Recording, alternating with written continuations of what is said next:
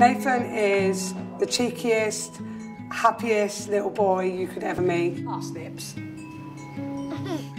The reason why my family started using Helen Douglas House was I had twin sons, Benjamin and Oliver, were born with a rare generic terminal illness, unfortunately. Morning, Max. Here at Helen House, we get to deliver one to one care, which means each nurse or care team member looks after one patient, and that means you get to really get to know the patient. Oh, good high five. Nathan was referred by his community nurse when she realised that I was his sole carer and things were getting a little bit, little bit hard at home with um, me needing a little bit of a rest.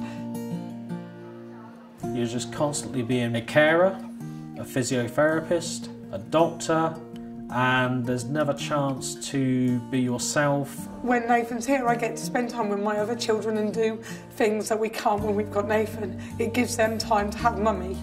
People describe it as the Helen and Douglas House bubble.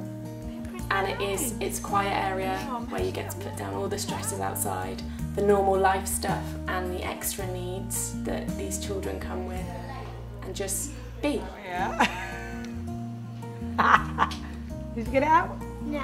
First time hospice got mentioned to me, um, I got scared because in my eyes hospice was for end of life care.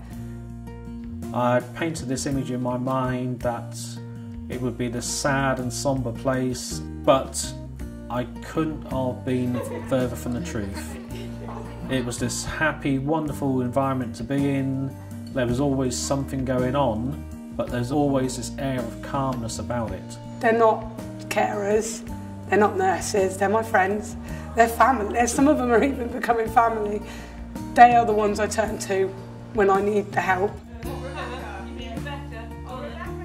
The pain of losing a child is immeasurable.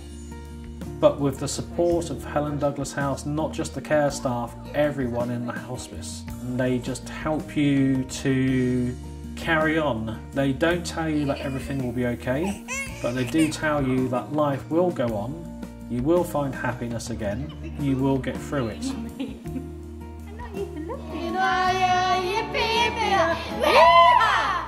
This is Nathan's favourite place in the world. Every day he asks to come.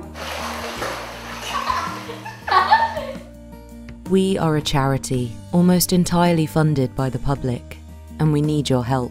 Please donate today to help local terminally ill children and their families.